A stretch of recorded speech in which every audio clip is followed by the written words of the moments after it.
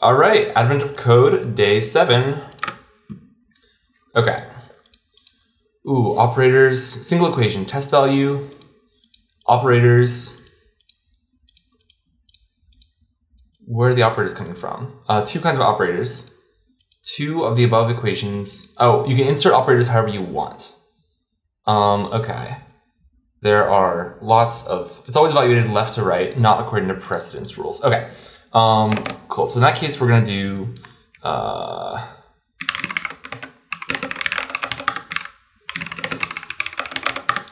and then I think we just try all possibilities. Um, seems like it could be long, but like.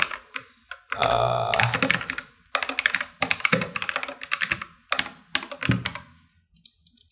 uh, I want len L, not check. Okay, up to 12. Uh, yeah, we can just brute force, I think. Um, if they introduce a third operator, it's gonna suck at the end. Um, okay, or if they make us do precedence, that'll also suck. Um, for op mask in, I'm trying to remember how to do it like a bit mask here. Um, okay, and then I think, oh yeah, and then this is easy enough. Um, what we're gonna do uh, result is going to be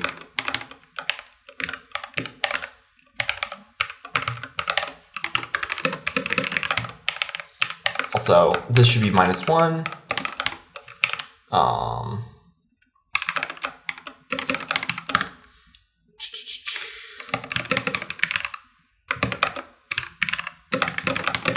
mask out from the bit mask times L of I.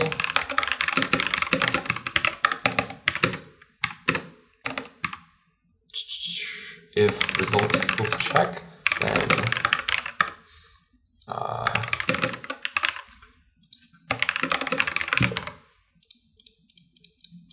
my PyPy ready here, maybe?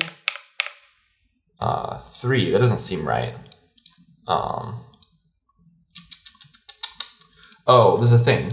Total calibration results. Some of the test values from just the equations that could possibly be true. Um, let's try that. Uh, three still seems like too few for this, but let's check it. Okay, not the right answer.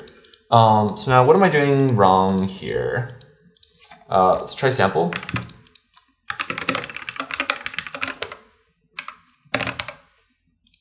Zero. Okay, well, there's, for starters, something wrong. Um, left to right.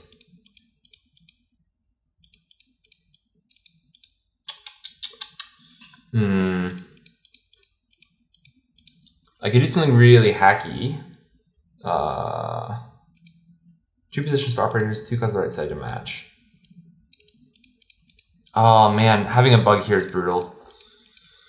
Oh, what could I be doing wrong? Oh, shoot, shoot, that's a bad bug. Uh, Okay. Ah, oh, crap, that's the right answer.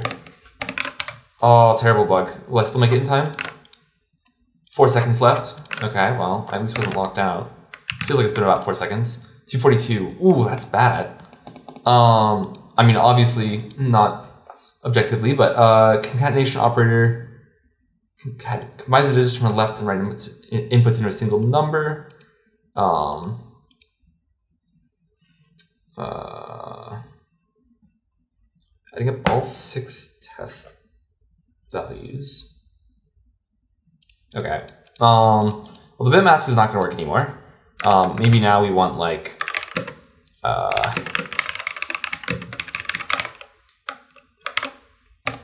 maybe like, uh, fine.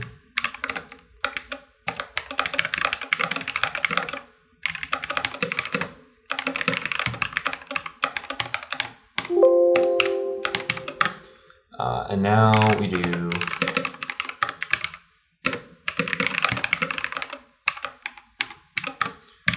uh, ops of i minus 1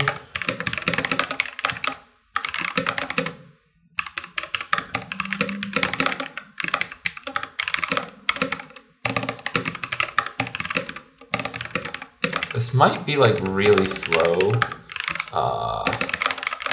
I mean, this will be really slow. um, string of shoot uh, results string of li. Okay, and then I think the rest of this is fine. That'll take a while, but we can uh, change this to this, get rid of that, that, and that, and then we can PyPy it maybe. Oh, that's rough. Um, I forget if this will work in PyPy. Oh, maybe it does. Oh, there's a number. A rank 239. Okay. Whew. Uh, yeah, PyPy was important there. Um, this is really slow. I really need to get PyPy set up better. I guess I did have it kind of ready, so that was not too bad. Um, man, I felt like I wasn't that slow on that, and I still got like hundreds on both. Um, what do the times look like, I guess? Hmm. Okay, wow. There that is a lot of uh, very fast times. Um, let's see. What's the highest of someone that I know is legit?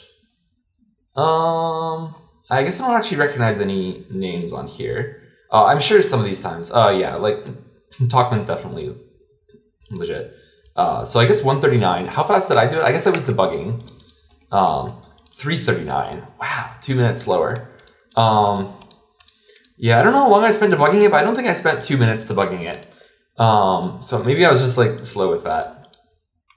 Um, yeah, maybe maybe doing the itertools product thing earlier would have been faster. I'm not sure. Um, yeah, I guess I got. I was pretty slow writing the bit mask thing.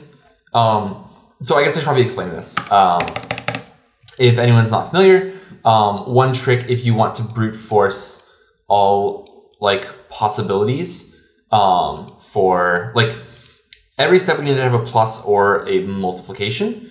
Um, and so that's like two choices for each possibility. So two to the um, number, like length of the sequence minus one is the number of possibilities you want to check. Uh, well, you can represent each possibility by just like a binary number. Um, so like plus times times plus might be like one, zero, zero, one.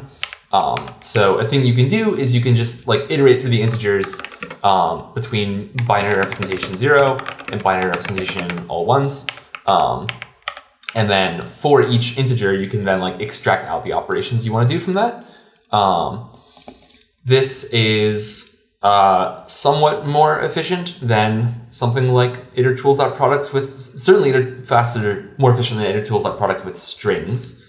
Um, plausibly, it's not like that much more efficient, but I'm not really sure. But anyways, that was how I decided to write this.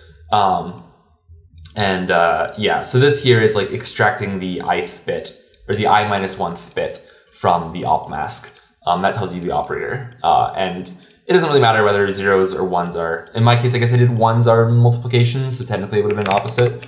Um, but it didn't really matter which one I did as long as I iterated through all, all the integers because that tries all possibilities. Um, once you need more than uh, once you need more than two operators, you kind of have to use something like itertools product. Like you can still use this trick, but now you're doing it in base three. Um, so you'd have to do like for op mask in range uh, three to the length of L minus one, and then, uh, yeah, I think that's right. Um, and then to extract out the ith op, um, you'd have to do something like, uh, so like left shifting is now equivalent to like dividing by pow of three to the i, and then you want to take like a modulus, like mod three. Um, so th this is the same trick, but it's like a lot, I don't know. Th this is like it probably doesn't convey the same efficiency benefits that you get when you're like doing bit manipulation. Um, so um, I guess this wouldn't have been too bad to just write it this way. Maybe I should have just done that. Not really sure.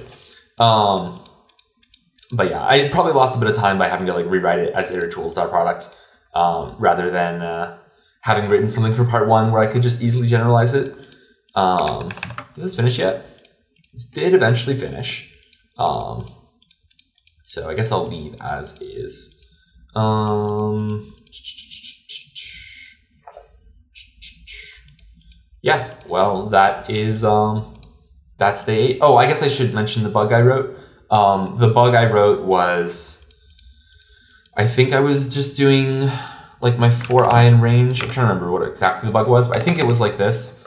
Um, and if you do this, L of I is referring to like the wrong number. So I, I set results starting at the first number, um, and then like the operators get inserted after. Um, and I was mistakenly like using this set of numbers and the results. So I would do like 240 times 240 rather than 240 times 116, for instance.